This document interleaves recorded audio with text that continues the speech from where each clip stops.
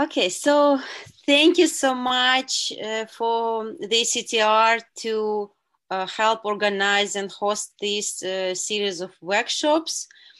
Um, I am very grateful uh, to the council and also specifically to Evgeny Dengub and to Mark Trotter for initiating this uh, movement, right, to initiate this discussion on uh, how to use authentic materials in our language classes and how to use them to talk about something important as diversity, equity, and inclusion.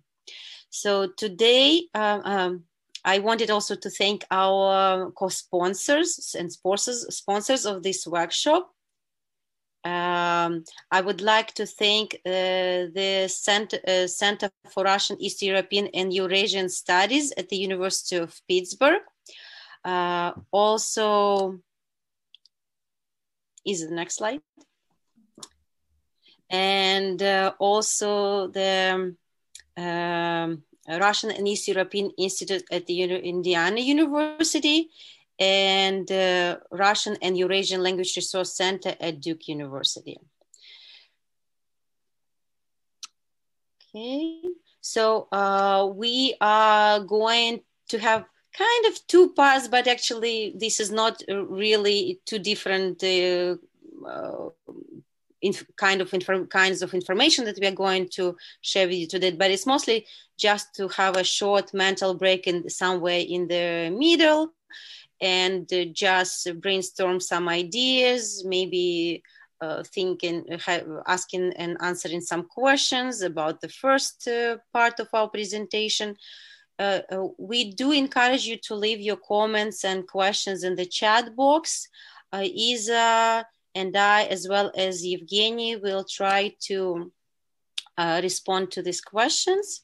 So, and at the end, we'll uh, hopefully we'll have a little bit more time to share our experiences, to uh, ask more questions or answer some questions, or just brainstorm some ideas uh, what to do next after that. Okay, so, and I would like to introduce uh, my colleague and I don't know if I can say this as uh, Evgeny referred to Irina, partner in crime, but we definitely have been working with ISAS uh, for, for quite a while on various projects. And I wanted to mention something uh, right now when I'm introducing her is that uh, Isa and I are working on the project that is uh, sponsored by uh, Pitt uh, Rees and also uh, the University of Indiana Institute, Russian and East European Institute. So this is a, a special um, open educational resource uh, project that uh, Mark Trotter initiated. Uh, we have a team of research assistants and we are trying to develop um, Uh, various materials, learning materials that uh, uh, secondary teachers as well as post-secondary instructors can use in their Russian language class to uh, bring more uh, into the classroom, to bring in, into the classroom the topics of diversity and inclusion. So we're currently on this, uh, working on this project and Isa and I, we are, um, uh, we are the uh, facilitators of this project and we are working with the undergraduate team. So uh, stay tuned uh, we will keep you posted about the uh, about when the, the completion of the project and of course we'll be happy to share these resources with you. So is uh, uh, savinkova is the scholar uh, is a visiting scholar at the university uh, dickinson college right? And uh, she is uh, originally from, uh, uh she, her background is originally in uh, Russian as a foreign language, right? As a second language. So this is her field. And she has been uh, working at Dickinson for the last, I think this is the third year. Right. And why uh, I invited uh, Isa to participate in this project because she uh, worked with another colleague of mine, Alyssa DeBlasio, on some uh, textbook for uh, advanced uh, students of Russian. And the, the textbook was including materials on inclusion and diversity. Okay, Isa. Mm-hmm. Yeah, Olga, thank you for uh, thank you that you introduced me and hello everyone. I'm glad I'm glad to see so many people today and Friday. Um, and I'd like to say thank you to the organizers of the series of the workshops. Um, I still vividly remember our summer sessions and they helped a lot, uh, at least me, to organize my fall classes. I heard many brilliant ideas, and also on Wednesday from Evgeny and Irina, I learned a lot. So uh, I hope today's meeting will help us to find better solutions, how to incorporate ideas um, about diversity and inclusion in our language curriculum and therefore make our classes in the spring and in the future more efficient, meaningful, and more engaging for our students. So thank you for joining us today. And before we go on to discuss concrete examples and uh, authentic resources that we use, um, I would like to talk a little bit about the need and importance to include materials about diversity, equity, and inclusion in the Russian language curriculum and their role in increasing um, the motivation of our students. So um, first, um, I'd like to to tell a little bit about um, our generation of students. So according um, to Pew Research Center, the students who we teach now belong to the most diverse, um, the most diverse generation in modern American history. And today's students are um, attentive to inclusion across race, ethnicity, uh, sexual orientation, gender identity. And they want, they expect schools to live up to those ideas as well. And uh, our language curriculum um, would include at least something from the ideas that they share, they discuss in English with um, their classmates, with their parents, with uh, all other people around. Um, According um, to the results of Generation Z Global Citizenship Survey conducted in 2017, with 20,000 participants, current students openly express their views on gender equality and same sex marriages. They are aware about different religions. They are not only aware, they are curious, they want to learn more, they respect non traditional beliefs. This cohort is more ready to discuss topics that seemed um, maybe inappropriate for the previous generations. And about 70% of the people who will um, shape the next decades and who will see in our language classroom very soon from different backgrounds, races, beliefs, which is supposed to be reflected in contemporary language materials. And the choice of materials that I will present today is largely due to the expectations of students and the request from students. But I also acknowledge that we can't um, change uh, completely our teaching materials, replace uh, textbook we have, so we can incorporate uh, and may maybe uh, like uh, diversify our teaching materials, incorporating authentic materials. So it's the field where they can help us, apart from all other reasons we discussed on Wednesday.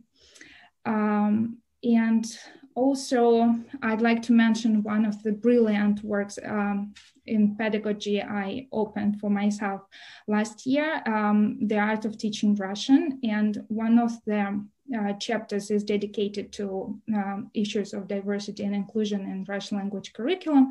And Rachel Stauffer fairly points out that there has been a noticeable lack of materials that equitably represent diverse categories of ethnicity, disabilities, and different family relationships. According to the researched and detailed analysis, most of the Russian textbooks commonly used in the US um, schools, high schools, and um, undergraduate college programs generally represent Russian Russian speaking people as Slavs also, um, these people live um, in uh, quite large cities. Also, we don't see people from single parent families. We almost don't see people from low income families.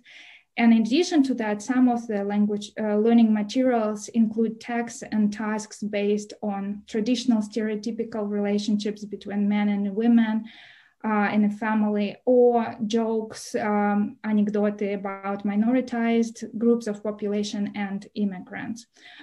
So, although the scholar community acknowledges that changes are necessary and new language, second language materials are being developed, I see as one of the ways to hear all voices and represent diversity in language classroom is to find and incorporate authentic materials to diversify and supplement textbooks we have and text from textbooks. So authentic materials may become the only resource that represent non-dominant groups and communities and cultural narratives such as non-Slavs, uh, non-heterosexual, non-cisgender, non-male, non-middle upper class, and others. So, um, so that these voices may be heard in our courses.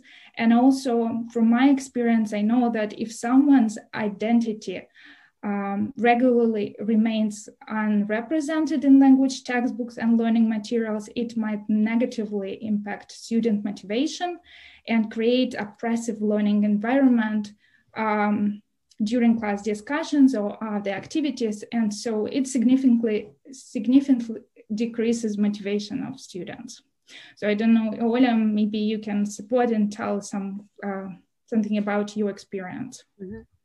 So while uh, Isa just uh, talked uh, briefly about the general context of what is happening in the field, in the field of Russian studies and Russian uh, teaching, while I just wanted to present you with some uh, with uh, our personal context as teachers is is teaching at Dickinson College, which is a, a smaller liberal art college. I teach in a large uh, research university, the University of Pittsburgh, with a very diverse uh, student body.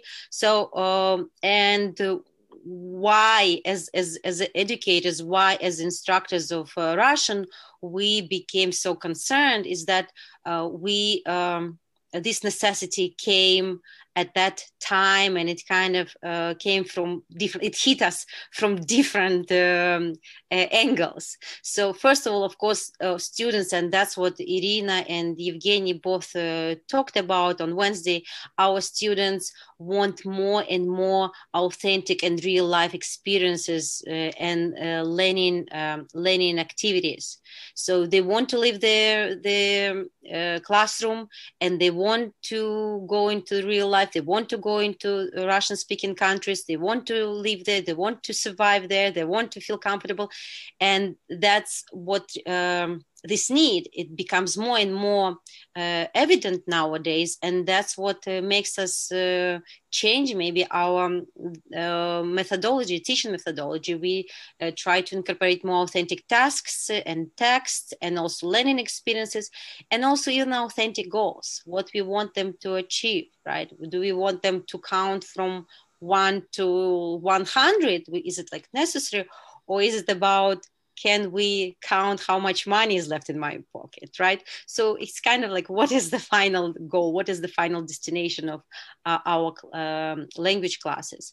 Of course uh, we both noticed that the, uh, within past maybe even five seven ten years the uh, the the diverse uh, characteristics of uh, our students uh, ha, uh, have increased uh, became more visible. So we have students in our classroom who are more openly express their opinions whether it's a political opinion the um, social views the philosophical views. These are students who uh, more openly share their personal backgrounds or their gender identities and uh, because of this we we feel like we need to offer them what they what they want what what they um, what will help them to thrive in, in the learning environment, right? And this will be diverse content and diverse images and texts and diverse examples and also relevant learning activities, right?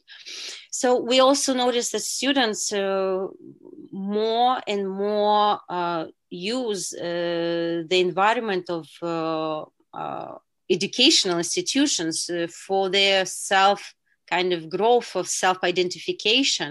So uh, they they they're searching for their identity, and um, whether it's secondary or post-secondary environments. Um, we kind of need to help we need to make this uh, the, this growth this development this uh, self uh, identification processes more comfortable. And uh, for example what we were discussing for example we use different strategies in our language classes but um, as many of us use for example russian names right for russian language classes especially at uh, novice levels. And um, when I explain my students that you first come to my classroom, you are uh, you're discovering your identity. This is your performative identity. This is your Russian language classroom identity. You can go for whatever you want. You can choose whichever name you want. I refer them to uh, websites with Russian names and uh, tell them that you can choose from any from anything you want. And I had students choosing Fokla and uh, uh, weird names which we haven't been using for centuries. But it's the, it was it was coming from their their point of view. That's the way how they felt uh, comfortable with these names, and also in in our Russian language curriculum at Pitt, uh, we started including um, a small statement in our uh, syllabus about um, uh, personal pronouns and about uh, kind of the controversial, uh, controversial nature of Russian language and how it's not always uh, kind of uh, gender welcoming, but we are in our classroom, we are happy to meet their needs and whichever pronoun they want to choose. And if these are elementary students, novice students, I just tell them to remain consistent uh, throughout the ass- assignment right? So because at this point they're still learning gender they're still learning uh, gendered uh, gendered endings for uh, adjectives or even for uh, verbs. So the only thing I, I, tell them that i just need to make sure that they use it consistently so i know that uh, they use grammar properly. But they can use whichever uh, pronoun they want throughout the semester. And that's kind of what i put in my statement. So isa i know that you are using something some different strategy right with the names. Well, talking about names, it this summer, for instance, I had a student who uh, wanted to use different gender pronouns in all uh, three languages that students speak. So, um, having a female English name, uh, mm, this student wanted to keep uh, he and uh, his on Yivo in Russian language. And so we found a compromise. I just uh, searched for authentic resources like uh, a website uh, and they exist. So Russian parents also, Russian speaking parents also search for these resources, гендерно-нейтральные имена, and you can easily find them online. Uh, and there are many names as Sasha, Zhenya, Vanya. Vanya became as a female name. So usually I just print out this list of names and also I give um, a list of names such as Alexander, Alexandra, Valentin, Valentina. And so if um, somehow um, at I don't know um, a few uh, courses of Russian later, so they will decide to change their gender pronoun. Uh, they uh, wouldn't need to change their name significantly. They can mm, become Alexander instead of Alexandra. So it's very easy, and uh, there are many resources that mm, provide this information about gender um, neutral, гендерно-нейтральные имена in Russian language. Mm-hmm.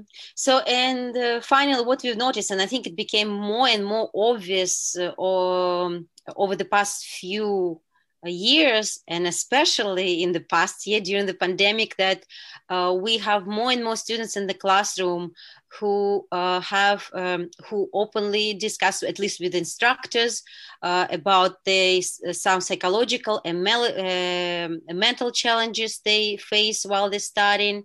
Uh, we have also students uh, more students with whom we have to work uh, who has different um, accommodations.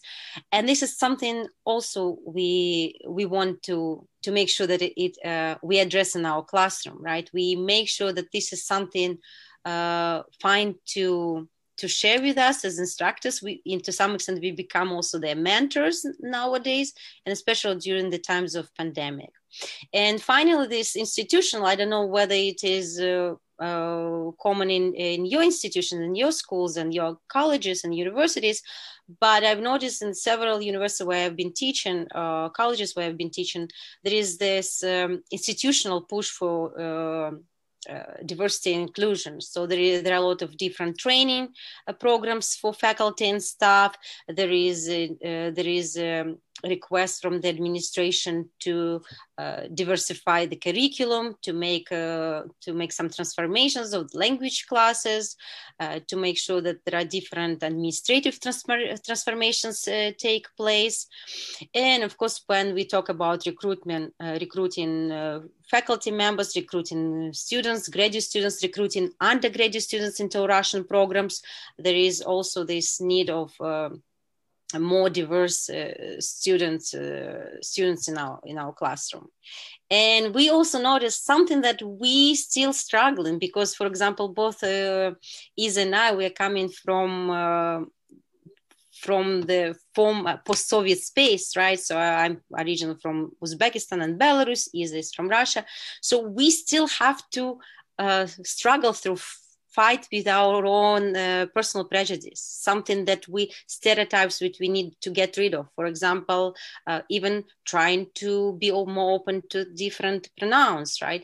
Or trying even to stop using русский for everything when you're talking instead of like, I don't know, maybe русскоговорящие, русскоязычные, uh, Russian-speaking countries instead of just Russian countries, Russian Russian people, right? So something is like we still have to to to to resolve within ourselves but this is something that also uh, uh, has um, has impacted uh, on our uh, on our way like on our ideas of what we are doing in our classroom. Okay isa um, yeah and do you want to to yeah and of course yeah, we are not going to talk about this but just remember that the diversity is very diverse right? We can talk about numerous numerous different types of diversity and we can address different of them in our uh, novice levels to uh, classroom. We can address some of them um, uh, uh, uh with uh, greater details in our advanced classes. Of course you need to choose also which um, uh, types of diversity is more relevant to your students. You might be teaching in a middle school, elementary school. You might be teaching in a high school, or you might be teach working with, um, uh, for example, uh, senior students, which we do uh, have in our in our classes uh, at Pitt. So, and this is something that you need to make sure that you choose what your students need, right? You need to learn about your students. You need to know your students before you can even start this journey. And as I said, some simple ones, and I know people might think that it's maybe very simplistic, right? But it is a, also a very simple step. It's just to uh, to make your to diversify your curriculum by including more diverse images, right? To uh, we we try to show different kind of uh, families different kinds of uh, ethnic diversity we want to show different kinds of uh, family structures and uh, even just including the images and uh, Evgeny mentioned uh, on Wednesday, right? Authentic images instead of stock images. Try to find something from from these countries, right? And that's what we how we can start right? We can start at least uh, from uh, this simple uh, simple make it a simple step. And also different examples. So uh, as you see you these are just slides from my uh, regular classes. And this the arrows and stuff mostly usually these are interactive slides. So i use a notation uh, like animation so it pops pops out and right now when i had to do a screenshot you can see everything actually but usually some information is uh, covered but students have to talk about different kind of families where there are um, two fathers, two mothers, there are multiple parents, there are multiple grandparents, there are uh, families uh, where it's common uh, to live with. Uh, uh, there are families in Russia in the Russian speaking countries where people live with their um, grandparents and their parents. So, and when I use examples, even like as linguistic, linguistic patterns, I try to use authentic ones also to bring this cultural element and even spaces, right? Places and making adding a map or something like this when you talk about specific place sometimes it helps. And i uh, use my background and i think this sometimes makes us uh, st- make our students feel more comfortable when we share something personal or some kind of, of background. So i do tell them that i'm coming, coming from central asia. I was born in tashkent and then i moved to uh, belarus. So i'm talking about how i've been exposed to different cultures and how tashkent was always a multi um, national multi-ethnic uh, city. And this is actually helps me to use my personal experience and my personal example right to talk about the diversity in russian speaking countries. And examples as i said the different meals or finding resources where it's uh, from different locations outside moscow and st petersburg and um, uh, for example what i also notice uh, very often textbooks they just give examples of school and universities. And there is a whole uh, layer of uh, Russian speaking society who, uh, which we're missing from this debate, from this discussion, right? It's the people who never went to universities. These are the people who got their училище, ПТУ, техникум, right, special degrees and we kind of do not introduce students and there are still a lot of people who don't get the university degrees in, in these countries. And that's what i use this on the lab just integrated small things just use authentic um, names of different um, uh, educational institutions in russia and use this opportunity to explain which one is for what and etc okay. Mm-hmm.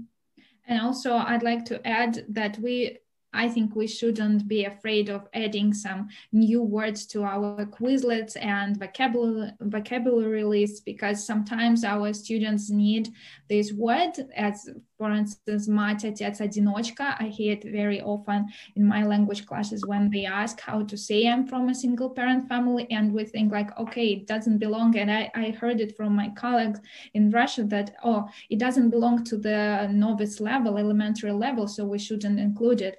But I think we we should start with uh, needs of our students. And it's okay if we add a few words to vocabulary or exclude something because we don't need it. And um, just expand our uh, vocabulary of our students adding the words they really need.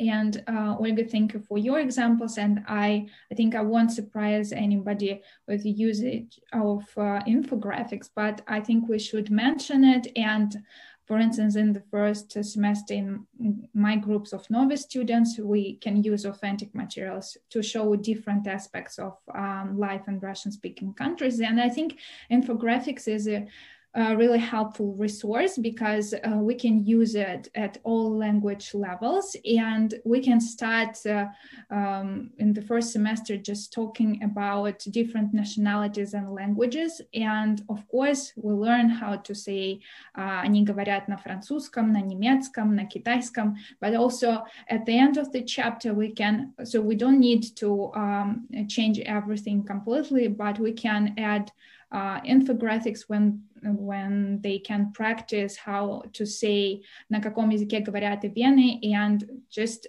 to practice it and uh, hear these words, uh, learn more about um, ethnic diversity of Russian regions and at least uh, find out that there is such um, region as Yakutia and they learn more and it, it encourages their curiosity um, and especially at the beginning because um, we we we tend to think that uh, we will do everything later.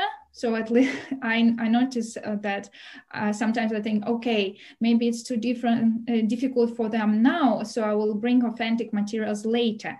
But uh, if we um, give them something later much later so they probably until the uh, the moment when they go to russia they don't know that in russia apart from russian people live uh, Ukrainцы, Vene, Venki, Tatari, Bashkiri, and other nationalities.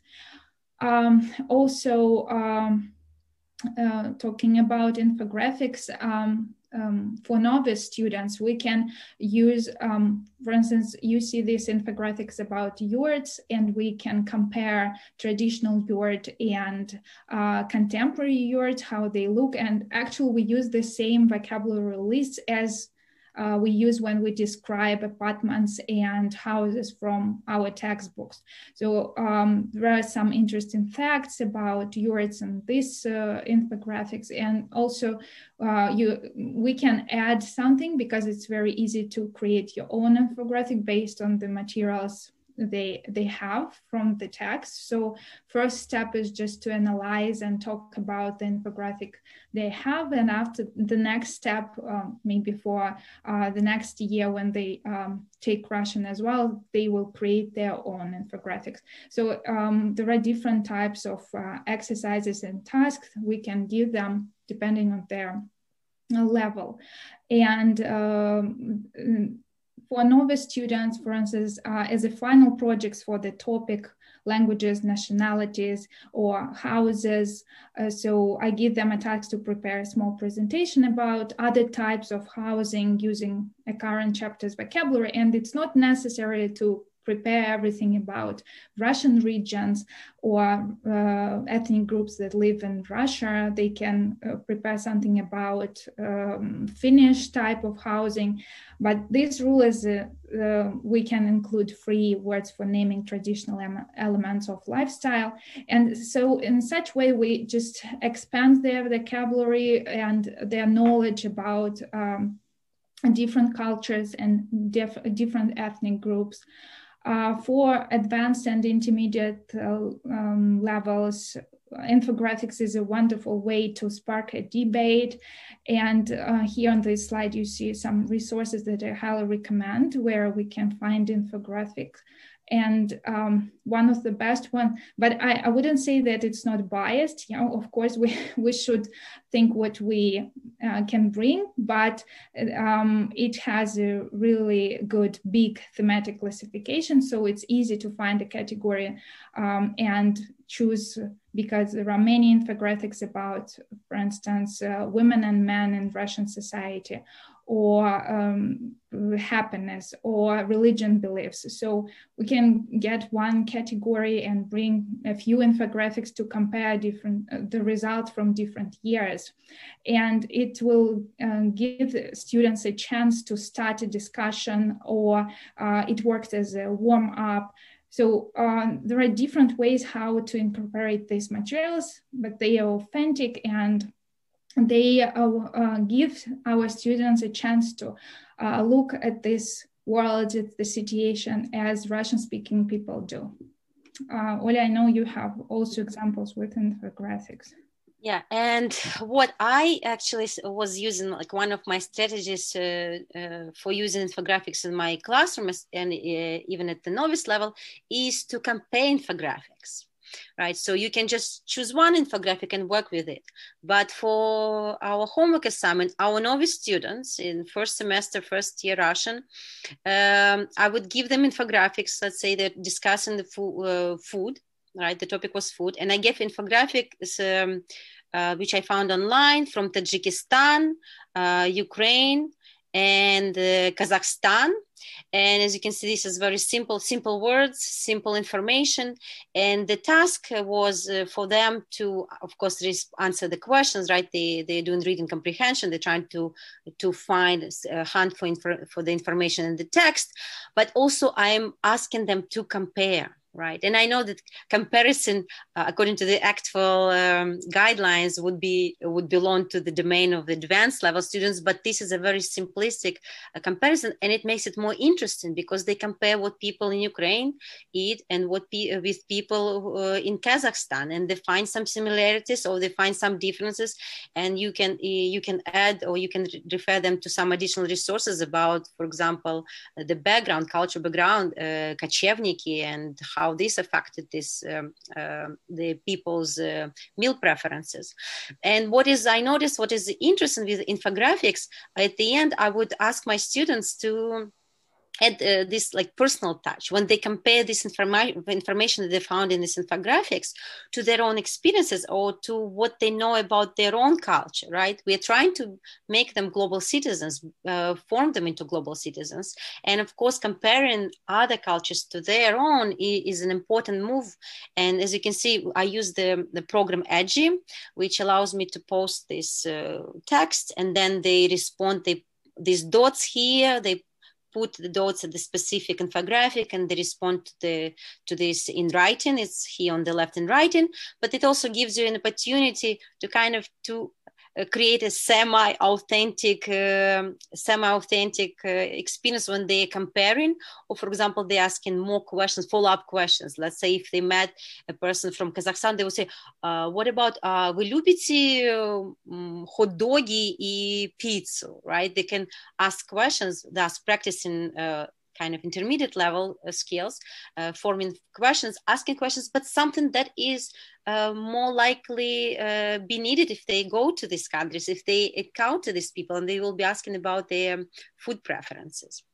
So, and the next one, which uh, again, uh, Isa mentioned that some infographics, even on these uh, Russian websites, uh, like you need to be very careful what you select, how you select, and of course, you want to make sure that if you do find infographics uh, that uh, that are developed based on uh, stereotypes you you need to be ready to talk about this. You need to be uh, you need to prepare your students in the classroom. So what i do this is this my teaching strategy which i used so for example i presented them there is several several resources about uh, hobbies in the united states.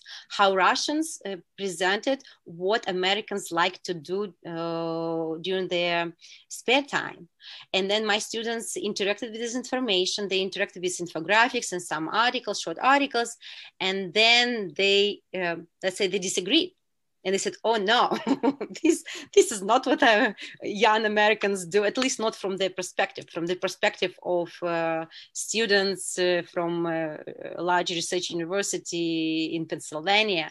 And I would ask them, "Okay, now you create your own infographics, and this is a sample of after they analyzed all these uh, other authentic materials, they created their own infographics, thus correcting, of course, from their perspective, correcting this information by creating their, uh, their infographics about uh, American hobbies uh, or the hobbies of young Americans.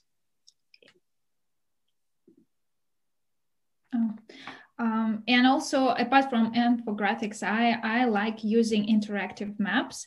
And uh, mm, there are now, I, I don't know, since I started using it, um, there has have appeared many of interactive uh, maps and one of the projects called Gastronomicheskaya Karta России, the project was launched um, in 2018 and it's still developing. On the website, there is a Russian map with information about the most famous national uh, traditional dishes from local restaurants and uh, working with the resource students learn uh, more about um, different cuisines see how dishes look read names of ingredients and therefore understand uh, the specificity of a particular region. And one of the favorite tasks of uh, my students is to pick up uh, to pick a place uh, for breakfast. They have to invite their friends for breakfast considering their dietary preferences and try to surprise them with national cuisine also, they can easily count how much it costs to have breakfast in Murmansk area and in Murtia. Uh, they can participate in a role play in which one of them is a foreign tourist and another one is a restaurant owner who can tell about the features of national cuisine and recommend some dishes. And also, um, it surprises me how they work because they trying to search information about this region about uh, people who live there and bring it in their commercial for the restaurant as a um, like for instance telling why these people like fish or uh, why they cook something. So they explain and um, so for such simple tasks as we usually do with students working with textbooks, we uh, encourage students to learn more about uh, different areas and different regions. And also, um, it gives it gives them a chance to learn more about um, the culture through um, uh, its cuisine. So it's, um, I think it's one of the benefits of usage of this site. And also, um, sorry, um, the second example is um, Atlas Religii and Nationalnosti России. It's also an interactive uh, map research service Sreda conducted a massive uh, survey in 2012, and they asked people uh, from different regions of uh, Russia about their religion, beliefs, uh, family values, level of happiness. Uh, um, so the different information collected in and created maps combining the survey results with the census data of 2010, and their website offers uh, it has an English version as well. So the site allows us to check, for example, in which regions of the country the most Muslim live, Muslims live. Um, in section «Интересные вопросы», um, you see it uh, now on the screen. So uh, students can find information about, for instance, a man role in a family in different regions. It's beneficial resource for language classes because first students learn more about the Russian uh, regions, the local people, they get a chance to compare the regions and portray people from different regions uh, to see the difference in views between citizens of different regions. And also the most um, interesting thing is that they can compare views on different uh, things and also um, uh, diversity of population in Moscow, St. Petersburg, and all other regions. So uh, also they like making up questions for the survey section, adding something and add some questions to this section. And um, also, you see it now on the screen, uh, there are tests and interactive online games on the website that give more exciting information about religions, nationalities, and Russian mentality, uh, also mentality of uh, people who speak Russian but don't belong to Russians ethnically. So even even if students don't give the right answers, and um, it's most likely that they don't give right answers, we learn they learn some new facts and um, to combine it in a text and present it to another group. Uh, so um, definitely they like guessing um, because it, it, also encourages their curiosity. Uh, um, and i i believe also that interactive the use of interactive maps nowadays during the time of pandemics is is especially uh, evident because uh, students are sitting and kind of learning a little bit passively behind the Zoom, uh, you know, uh, in front of the computers, uh, hiding behind Zoom. And uh, by being able to click on something, right, to make this extra move, I think this also motivates and encourages them to be more active and more proactive in their language classes. So, for example, there is a separate map uh, that Postnauka has created uh, on языки России, right, the languages of Russia. And I just wanted to warn you that it's still uh, it's still uh, um, under development. So there are several areas where you can press right? So you can see just screenshots here, uh, and students can press on these uh, regions and then they will see the information what uh, group of languages uh, is used in this region. And it's very simple. Actually the very first slides when they click very simple just the name of the language group. So it's appropriate for novice levels. And then uh, when you click on it and open the specific group, there are uh, numerous articles, resources here, for example, here in Uralsky Ziki.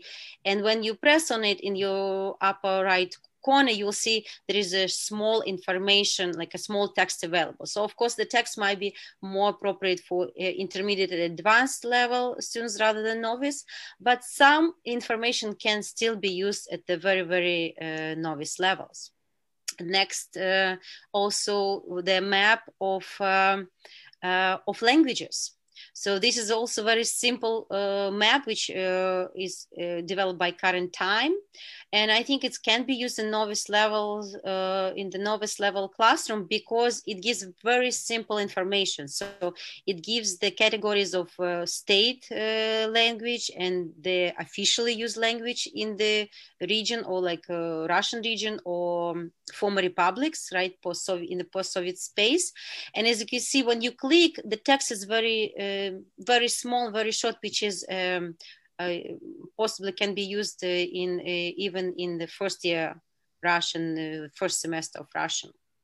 Okay, so and and as you can see, different ones. So this is another one, карта языков Российской Федерации. If you want to introduce your students to the uh, to the diversity of languages in, uh, in Russian Federation and to tell them that not only Russian language is the, the Russian language is not the only language that the people speak there. Of course, you can uh, send them to um, to Wikipedia or some kind of encyclopedia page, but it, it's not going to be as interactive as interesting because they can click and discover they can um, uh, they can go even on scavenger hunt. For example you can you can tell them uh, find the region in which they uh, speak this language or that language.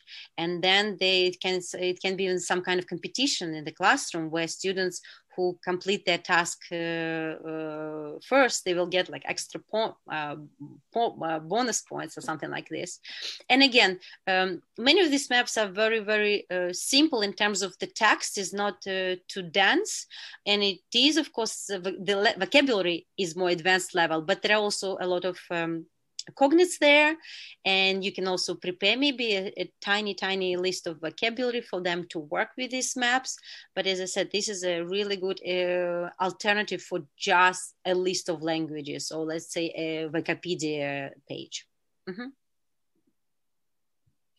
And this resource, I think it's also very exciting because it, it was uh, created by uh, Belarusians. And um, this is a map of national costumes in in Belarus. And what why I like this resource because it includes also uh, audio commentary. So on the left, audio guide. If you press, it's very short, about between one minute and two minute long. Um, the vocabulary, of course, a little bit more advanced, but it can be used probably in intermediate Russian. Uh, but even at the very, very novice level, uh, students can use this um, this map to click on different uh, in di- different parts of uh, Belarus, right, and explore that even within a, such a tiny country right, as Belarus, there are there is such a diversity of uh, cultural, uh, national kind of uh, specificities and uh, even costumes in different regions is different and the novice students can just go to the first one right just the name of the region and maybe uh, like a basic information but if it's an advanced students you can tell them to explore more and get into the uh, uh, details there are the читать дальше if you can see read more there is more information written there for appropriate for advanced level students mm-hmm.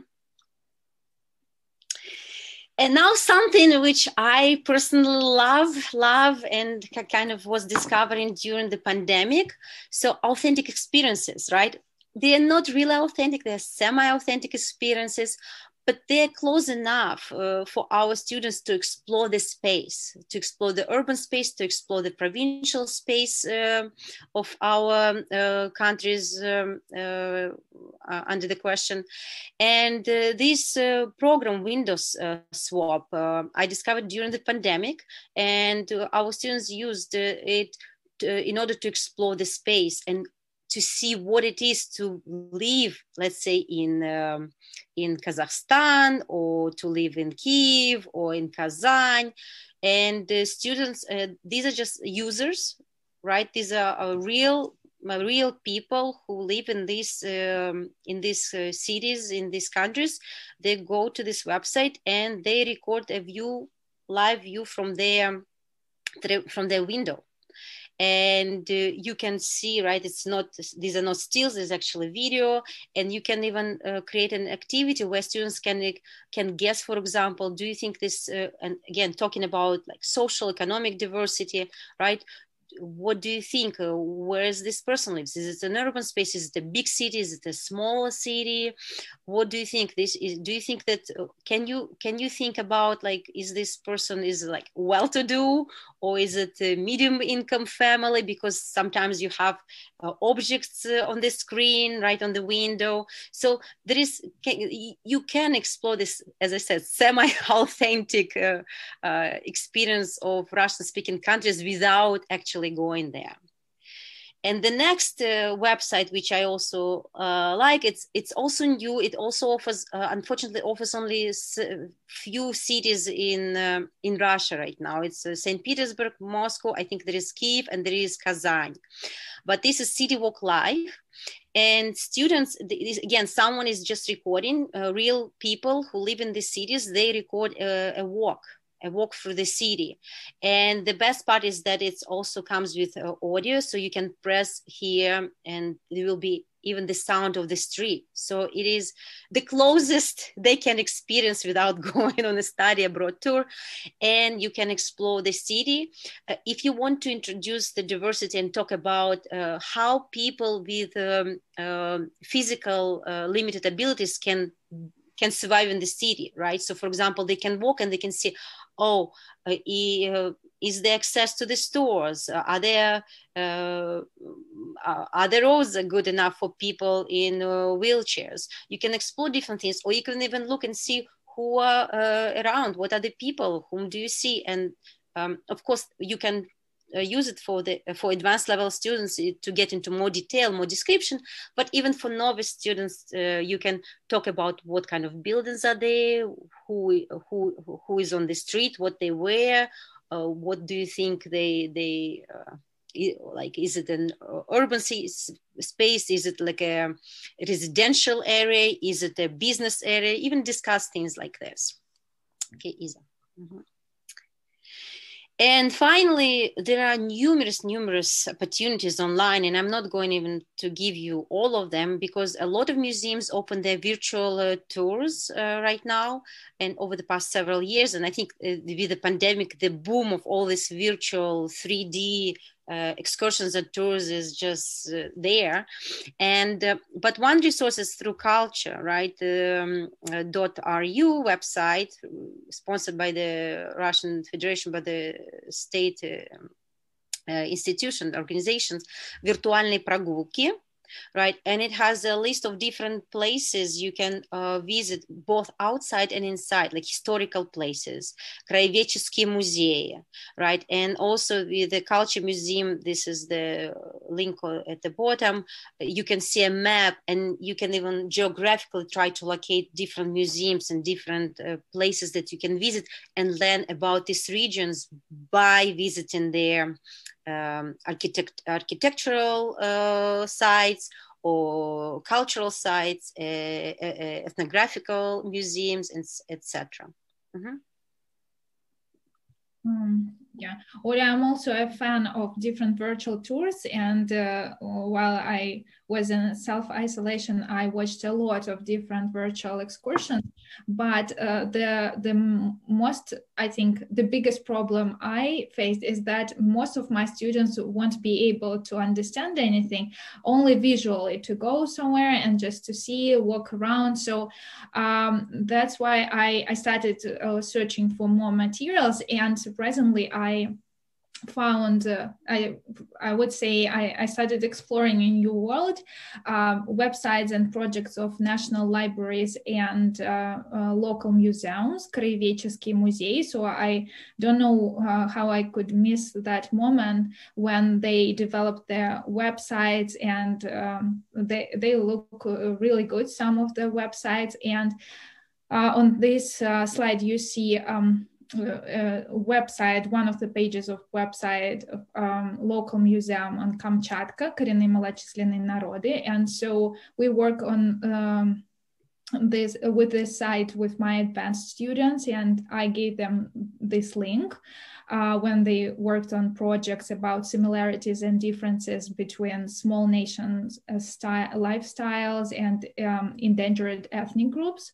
So they had to read information about the ethnic groups on Kamchatka and compare their traditions, daily life elements, and current situation with the languages and education uh, with uh, in the US. So um, yeah, um, and there are many other um, ethnic groups that um, you can find on uh, this website and some other websites of national libraries. Um, or the, the most beneficial thing for me, at least, because uh, is that um, these websites are developed for kids, for children. So um, most of the text that are there um, can be understood by our advanced students. And um, surprisingly, for instance, Kamchatka's ethnic groups have um, a lot of um, in common with the United States indigenous people. And it's also essential to, for me, to search for materials that represent diversity globally.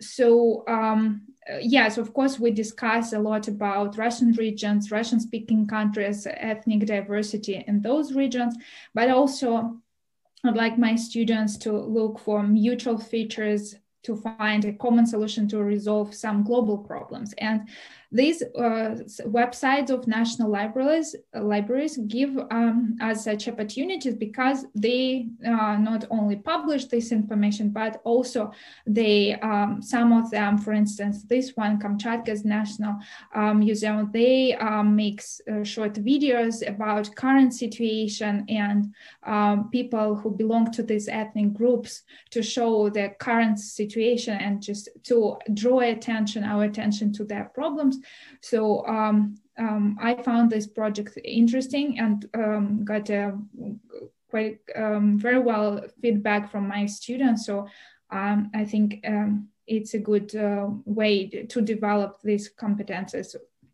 in a such way. And now we're going to have a couple minute break. I know that there are some questions. For example, Susan, if you want just unmute yourself and ask your question.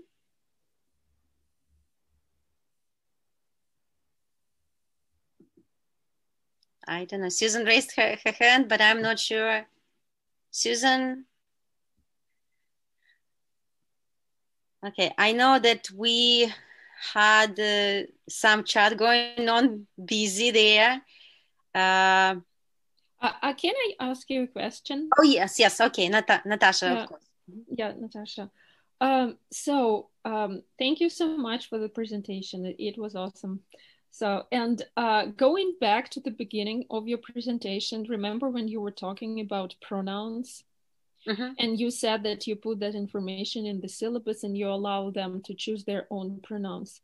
So, if somebody of your students wants to address them as they, how do you particularly uh, work with verb conjugations?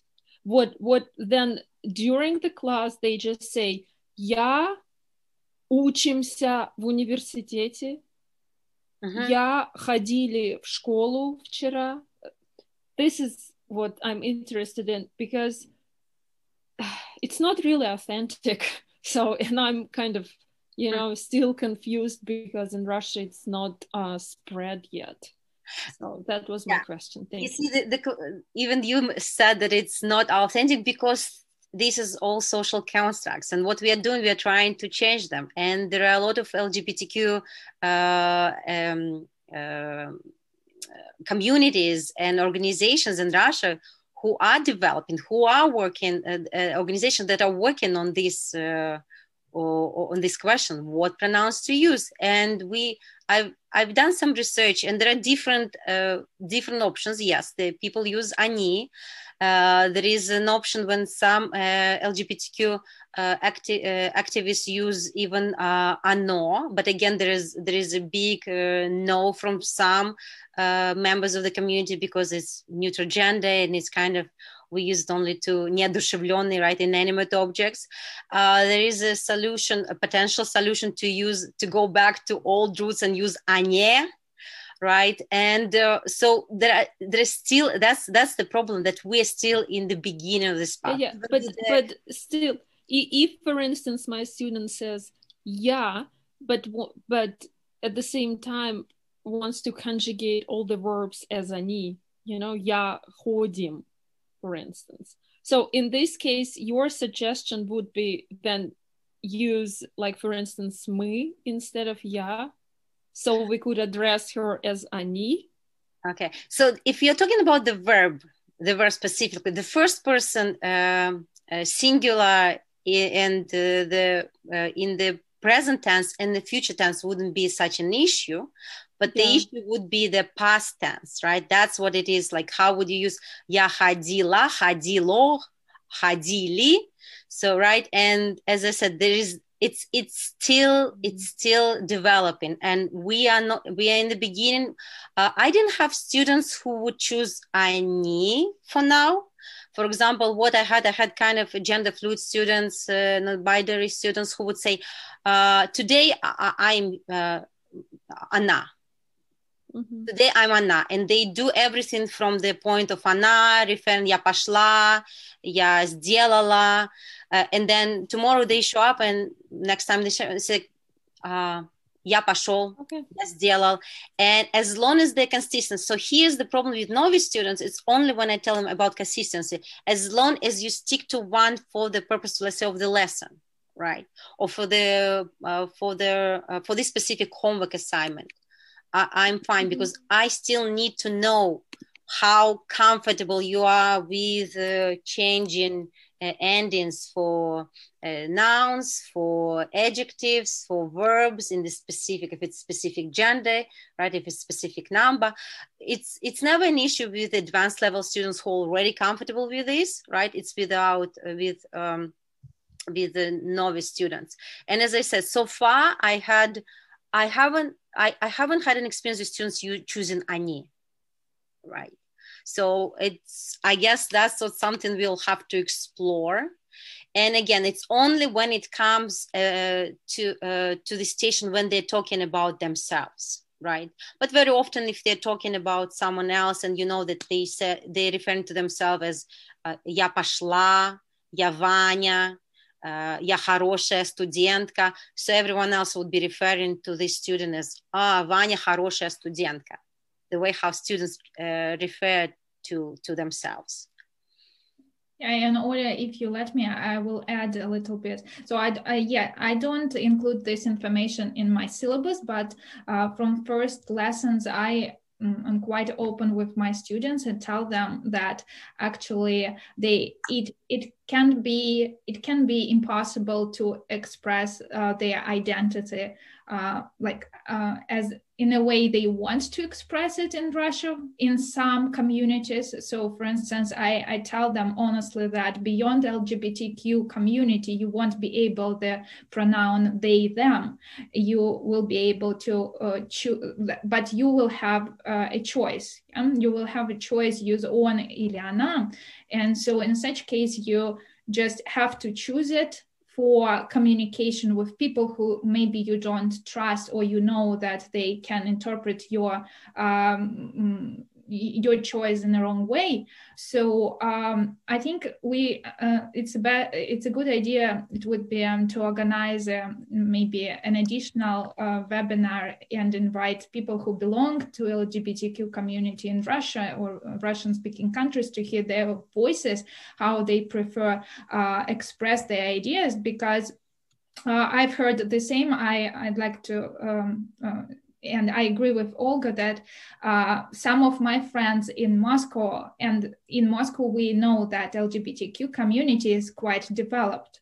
Yeah, so they don't use ani uh, when they speak with people who don't belong to this community. Yeah, but they use ani in general when they, for instance, there is a, I think, a fabulous uh, online journal, Открытие, I highly recommend it to people who are in the field and um, I give some articles to my students at advanced level from this uh, online journal, and they use in some articles "они" and uh, past forms uh, like "мы пришли," uh, "я пришли," uh, and different forms you can find in this article. So it depends on the offer, and also I'd like to to hear all like as many voices as I can to get more information about it.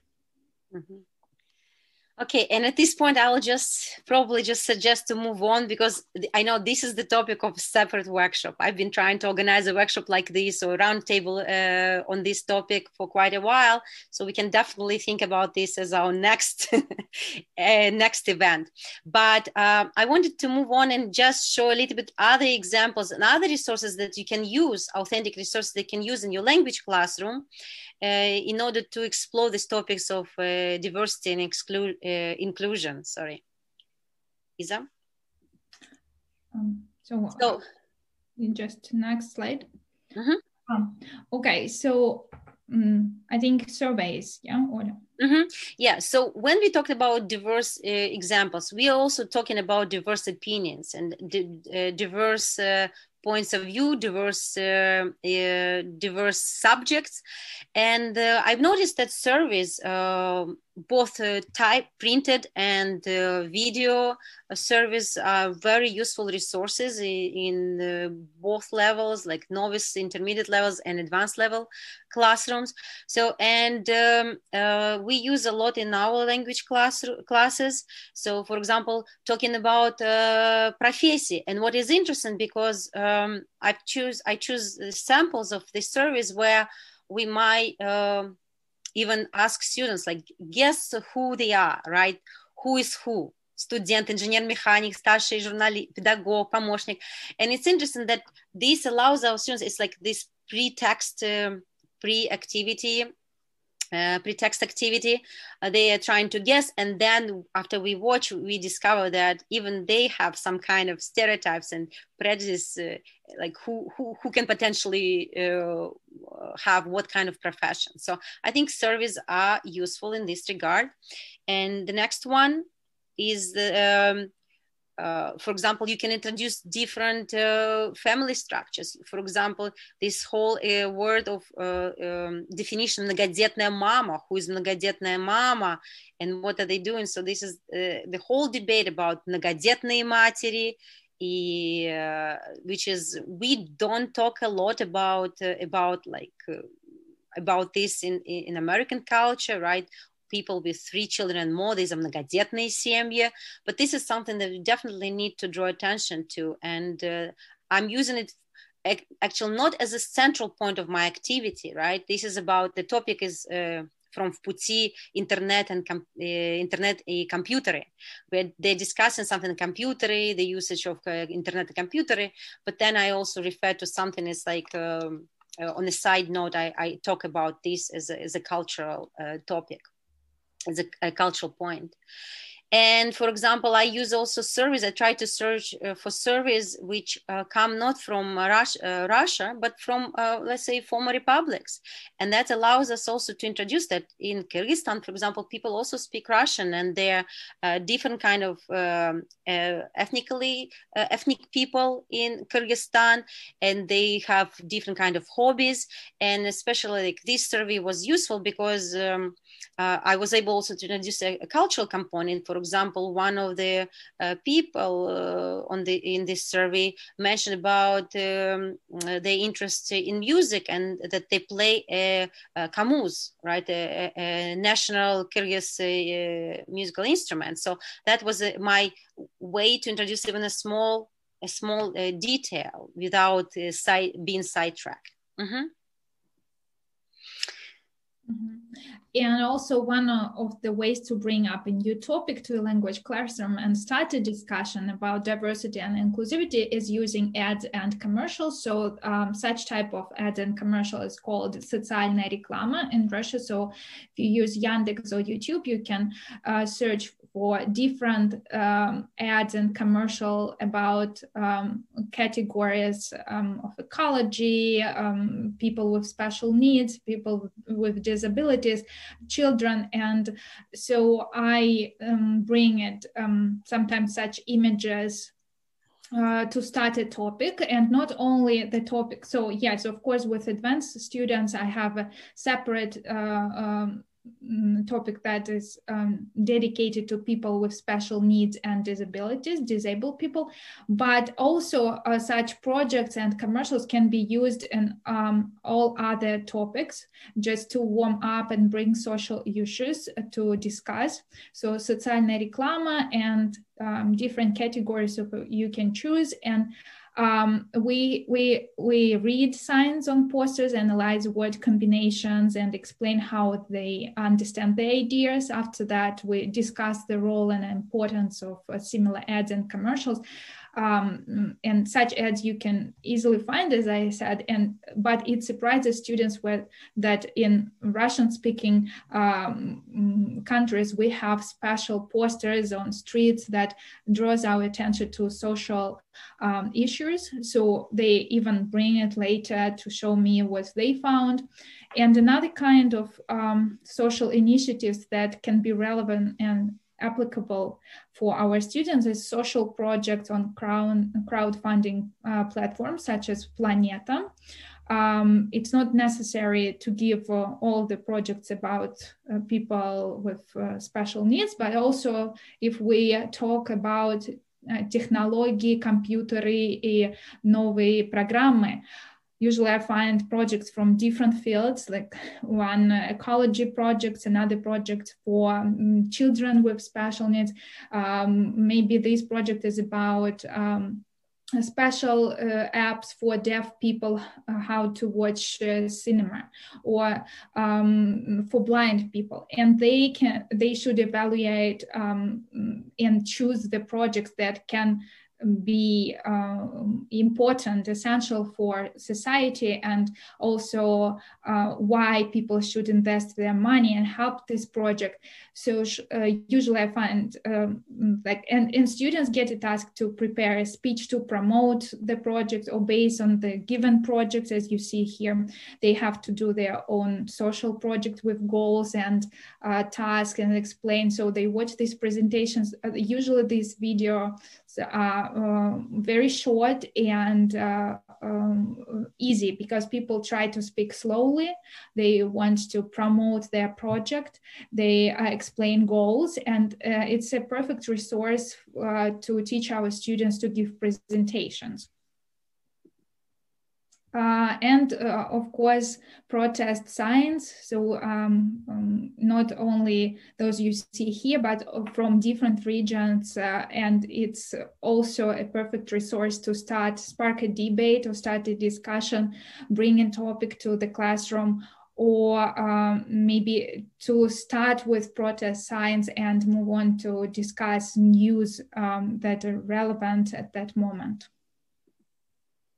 Julia? So, and of course, we have uh, various various resources that we encounter every day or weekly, and Russians uh, have uh, always encounter them. And so, we've been using this in our novice levels to, uh, classrooms, uh, for example, business cards. And what it was uh, useful that we did not just introduce. This is actually week two. They just had two classes, and already their activity was to uh, to uh, interact with these uh, business cards, right, vizitki, and I would collect them from different different parts of uh, Russia, from Belarus, Ukraine, Kazakhstan, and um, this will allow me to introduce different regions, right, geographical region, but also different names right? How different names and uh, the formation i can not i am not uh, i don't spend a lot of time on this but I, you, can spend a little bit of time just telling them how for example names in um, uzbekistan or kazakhstan they, they are formed and how you can potentially uh, find the the stem or like identify the stem where it belongs to, to which region to which country it belongs right or the most common names in these regions. So and students again they uh, had to do this both in written uh, read in a written form but also recorded some audio commentary.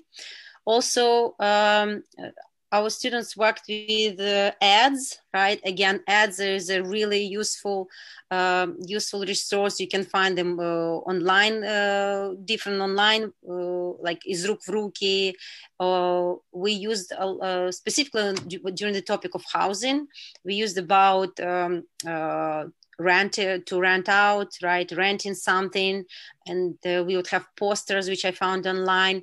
And this is the opportunity for us to uh, to introduce this kind of sensitive topic about how still there are debates about how many people um, renters, right? How many renters are limiting the opportunities uh, to rent their um, housing uh, for people uh, of non-Slavic, uh, non-Slavic heritage. So this is this doesn't have to be a central kind of uh, topic of our uh, of our of our lesson right? The lesson is to teach them how to find the apartment for rent utilities and uh, stuff like this. But this is something that we can uh, draw attention and even ask them to to comment and say what do you think? Oh, because even visually sometimes they are like very distinctly seen large capital letters or something like this. Mm-hmm also signs and this is good uh, this is a very good uh, resource for very very novice students from the very beginning. You can find different places and restaurants and stores with uh, geographical locations with name of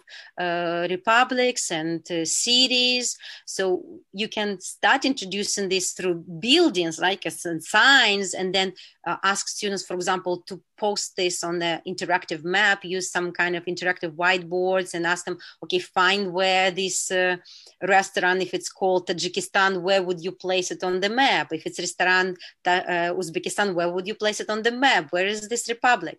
Right where is this country?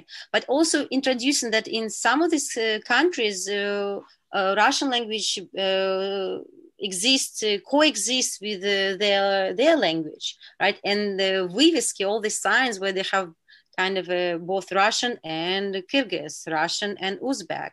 And this is a good way of just introducing students because if they go to these republics, because there are a lot of study abroad programs nowadays in Kyrgyzstan and Kazakhstan, so there is uh, more likely they will encounter this experience, right? And we need to prepare them for this.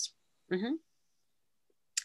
And uh, class schedule, for example, I ask, this is a part of the project that uh, our t- uh, teach, uh, our research team is working, finding a schedule from different uh, uh, post-Soviet countries and to find out what they study, what languages they study, what subject they study.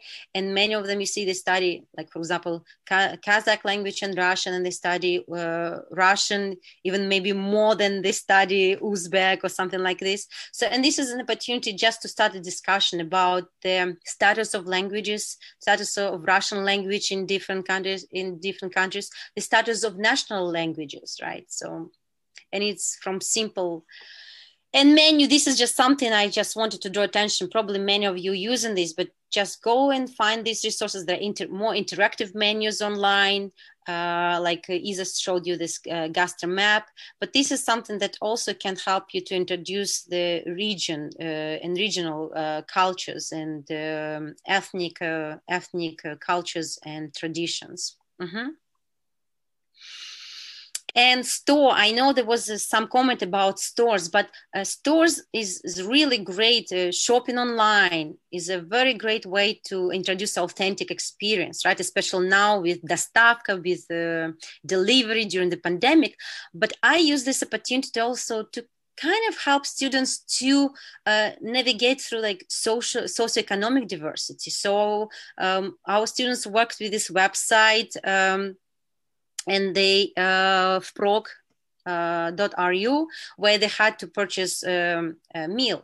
But what we did, we did, as you can see on the left, it's on Miro. Uh, I created several groups, and each group had different uh, amount of money and before that you would give them like an infographic for example or even basic information some short, articles about what is the income of uh, teachers or how much money teachers make or uh, what is the uh, average uh, pension in russian speaking countries right? Or what is this uh, average uh, student stipend in these countries? And then you give them this and this was a limitation. For example this group would take, have 1000 to survive for a week and they had to go and purchase and this group would have uh, 20,000 rubles, right? And it's kind of just to to add this element and say like, look, now you're shopping and what you need because they have to go and look through all this um, grocery list, right? And see, make sure that they um, they have enough money and that at the end they had to report. This is novice students. They had also to report how much they have left right? So they had to tell us. This is actually talking about numbers. Our students were practicing numbers and also practicing uh, один рубль, два рубля, три рубля, 20 рублей, right? So all these grammatical also concepts, but in the specific context. And that also helped to kind of uh, talk about uh, uh, different socioeconomic uh, in, uh, backgrounds of people in these countries. Mm-hmm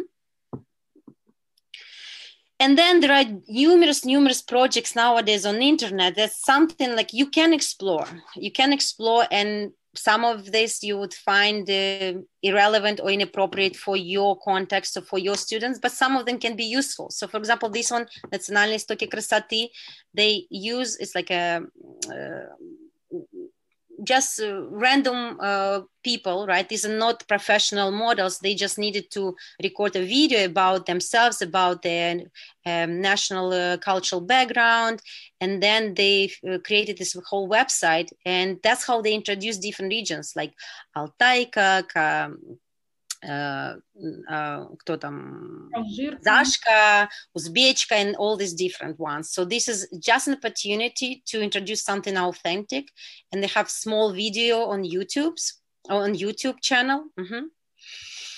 And also there is a, an internet project Вся Россия, Народы России. So this is short videos where they introduce um, uh, uh, dolls, dolls from different regions, Russian regions, and also, uh, and they all dress differently. If you go further, you can find more information. But even for novice level students, this is just a tiny, tiny, like few seconds video of you're looking at these dolls in different uh, ethnic costumes, and uh, you also have the names of different uh, ethnic groups in Russian Federation.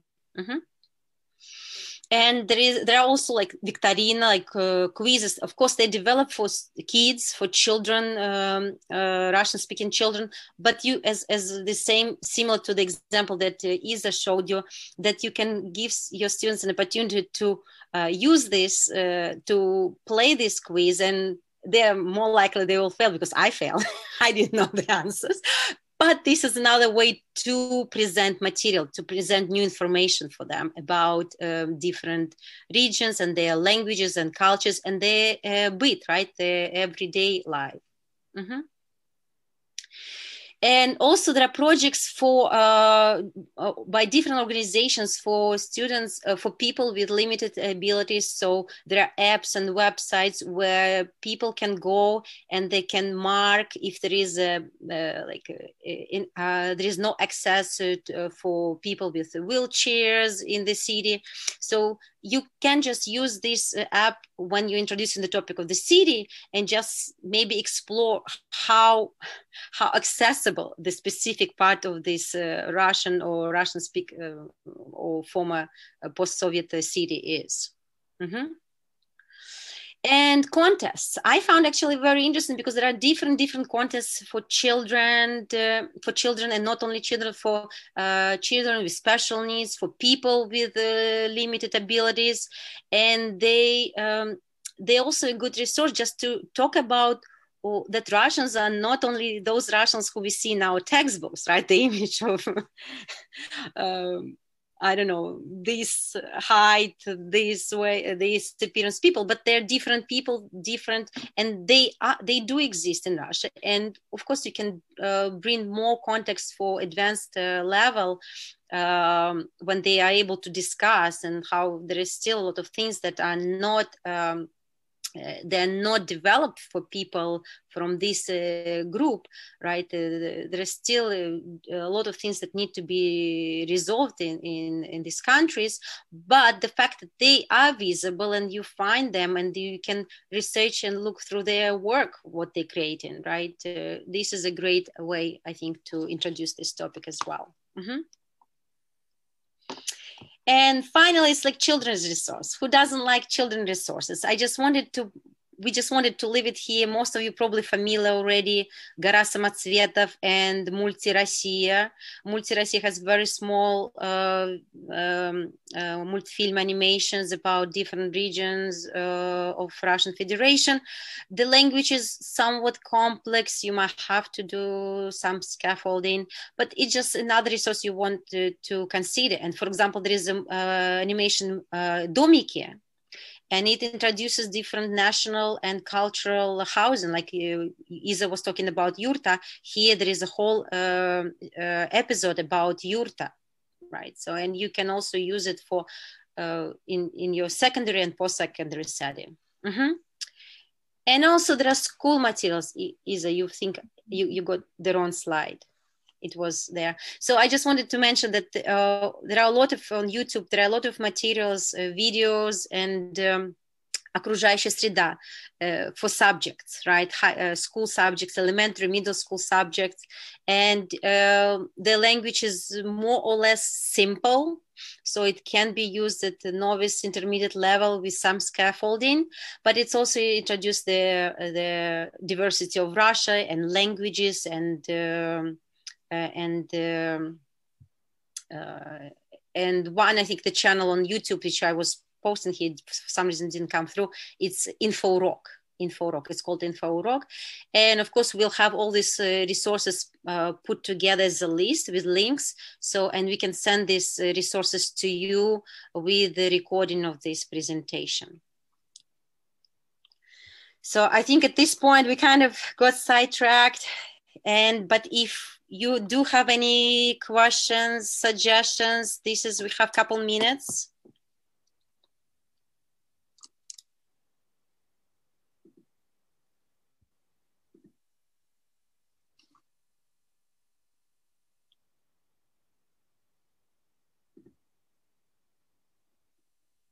Okay, let's see in the chat.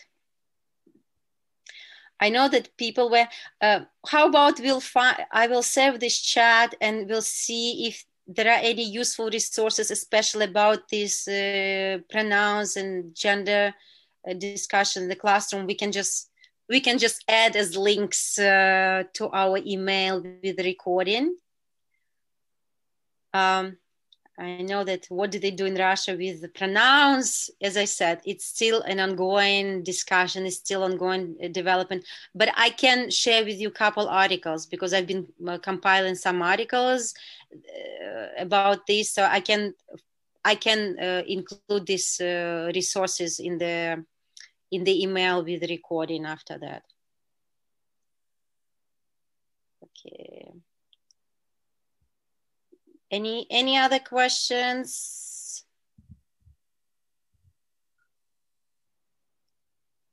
Uh-huh. Yeah, I know that there are some suggestions about there is a good resource to learn more about racism in Russia and Russian speaking countries and what is being done in Russia to fight racism and discrimination based on national origin. And of course, these topics are uh, much easier to introduce at the advanced level student uh, like uh, and uh, even have debates and discussions but uh, I guess for me, uh, one of the challenges is like, how do you do, what do you do in your novice uh, level classroom, right? They have limited uh, uh, ling- uh, language abilities. There is not much they can express. They can get frustrated if there is something they want to share with you. And of course, there is an opportunity maybe to share it uh, after after after your class is over. Maybe you can create a specific space in your learning management system where students can leave some notes uh, some ideas and you can even like say uh, you know as long as it's related to something uh, like uh, russian speaking russian culture um, uh, uh, topics feel free to even use english and comment here in your learning management system. So maybe something just to start discussions even if at the level of novice it's, it's still in their in their own language not in the target language Okay, so we have some resources. Mm-hmm. Mm-hmm. Yes, Silangs have been doing this, have been, and yes, there there, there is a. Uh, I think there, there, there are debates about this. There are discussions. The, the ongoing discussion is happening, right? But uh, Okay. Okay, I think we don't have any questions anymore. I think it's, but I think that this is a good, um, what is happening in the chat, I think it's a good uh, uh, sign to ACTR that maybe we are ready for another roundtable, for another uh, series of workshop discussions uh, where we can all share these uh, resources, right? We uh, started covering the topics of LGBTQ and race, and uh, yeah, let's continue our, discussions and as, I, as we said, like as we proposed in this workshop, this uh, way, our goal was today is just to introduce you to resources and strategies, teaching strategies on how to open this discussion in your own classroom. Um, if I can just say thank you so much, um, Olga and Isa, to both of you for sharing these resources and really inspiring. Um, I feel absolutely inspired um, to do um, to do more um, uh, in in the classroom. And I agree that we can do this in the target language, but also in English, in a native language of or you know the dominant language of the students that we teach. And um, this uh, webinar ties so nicely with the discussion with um, was it the second national ACTR conversation uh, dedicated to these issues. And and it's it's great that we have this webinar with maybe more practical specific ideas for uh, the language classroom including on the lower level of instruction and and i absolutely agree that we need to explore this this topic more and we will work on that. So colleagues we promise that there will be more exploration. Thank you so much again. Thank you everyone for spending your friday afternoon friday evening with us.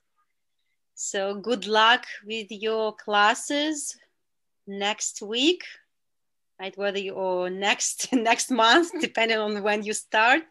So yes and let's stay in touch and feel free to email isa and me if you have any ideas any suggestions. And as i said we are happy to share all the resources as a list of um, links which we found and uh, you're welcome to explore them. You are, welcome to contact us and say, how, how are you using this specifically? Can you give me an idea how you're using this in your language classroom?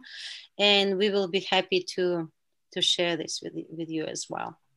Yeah, and, and if I could just ch- uh, chime in here, um, I, uh, it, it's so wonderful to see such a broad uh, uh, representation of, of Russian teachers. Um, not only in the United States, but I, I, I believe we have some from Russia uh, and uh, Great Britain on hand. Um, the, the, the sort of impetus for this webinar um, is really uh, uh, a means to um, assist the pre-college Russian teaching community. But of course, um, uh, any college, university, Russian program uh, invests a lot of resources in uh, teaching students with no prior exposure to Russian. Uh, at any rate, um, this webinar is actually the first um, sort of step in uh, a project that both um, the uh, Russian East European Center at Pitt and um, Indiana University Russian and East European Institute, along with the assistance of the Slavic Eurasian Language Resource Center at North University of North Carolina, are putting together. Um, we will uh, be uh, rolling out some um, activities, uh, lesson plans, and the like this spring um, for high school teachers to um, take a look at, comment on, and we, we really hope pilot and get back up to us um, on your experiences. And um, those of you in the um, in the uh, university college Russian teaching um, world, um, you're also welcome uh, to look at that. I'm going to put in my my email address here. If you want to send me a message about that, um, we will certainly keep you in the loop. So. Here we go.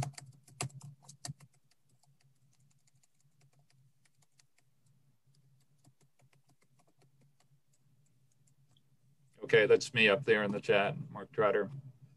Um, yeah, so thanks for for for taking time out um, to delay your weekend uh, by, by joining our, our webinar. And thanks so much, uh, Olga and Isa. This this was really one of the one of the best uh, webinars that that I've attended. Um, and uh, you're, you're both doing really, really, really fantastic, inspiring work. Um, so really, uh, hats off, kudos, and and and everything. Yevgeny, too. Thank you for um, making the uh, all of the technological arrangements and for um, giving us a slot in the ACTR web series. Thank you, Mark. Thank you, Mark, for, for initiating this, and thank you, the ACTR, and for all the the members of the ACTR and beyond for for participating and trying to do our best and to try to be better at what we are doing every day no matter what right? Despite pandemic etc okay thank you thank you again and uh, have a wonderful evening everyone